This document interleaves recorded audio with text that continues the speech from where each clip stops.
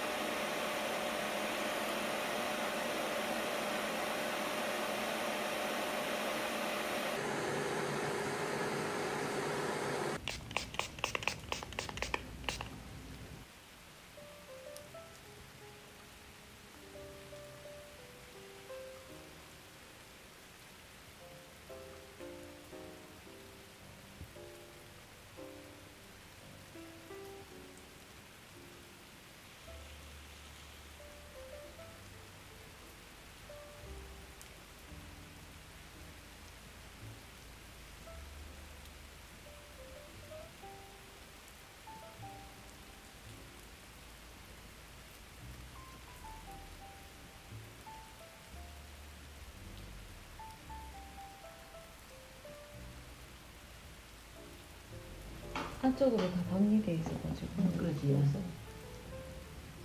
내가 아프지 않아. 아프지 않아. 음, 다떠 있어가지고.